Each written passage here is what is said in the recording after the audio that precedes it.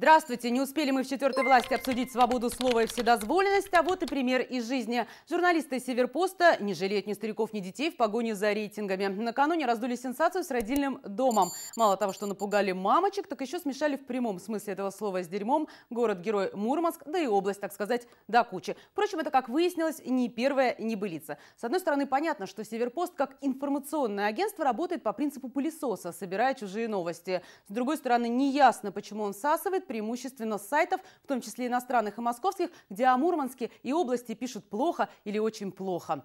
Вот заголовок на Северпосте, а вот на норвежском Баренц Обсервер. Роснет якобы заморозила свои проекты в Мурманске.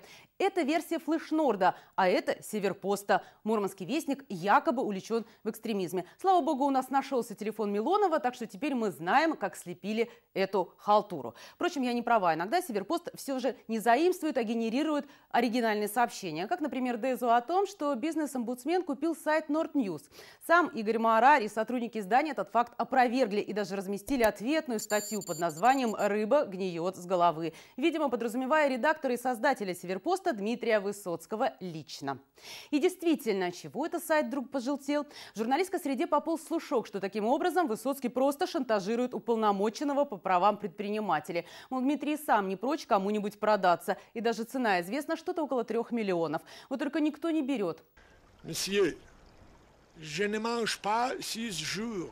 О том, что желтая пресса в Заполярье в последнее время просто взбесилась, теперь уже шепчутся за спиной. Накануне сетевое издание «Гражданские силы РУ» опубликовало собственную версию причин такого бешенства. Прогноз авторов неутешителен. На рынке интернет-СМИ грядет передел. Триумвират, Северпост, Флешнорд и Блогер-51 скоро распадется. Последний, скорее всего, вольется в один из медиахолдингов. Коли так, судьба Северпоста незавидна. Среди инвесторов, судя по всему, дураков заплатить 3 миллиона нет. Если только за границей ему не поможет, остается уповать на иностранные гранты и маршировать в пятой колонне. Я за машину родину продал.